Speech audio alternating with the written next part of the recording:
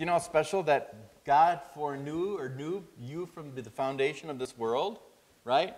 That you would become his child, that you would turn from your sin, that you would turn your faith to Christ. You are important to God. You're important to Jesus.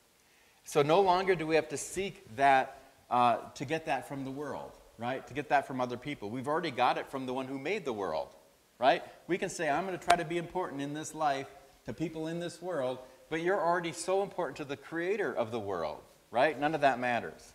So the resurrection declares so importantly that we have prominence. Jesus knows your name. Amen. Jesus gives us the faith to place our life in his hands. And you may not be famous in this life, but Jesus knows your name. And there are times in this life you may feel like you're not worth anything, and Jesus understands he gave his life for you anyway.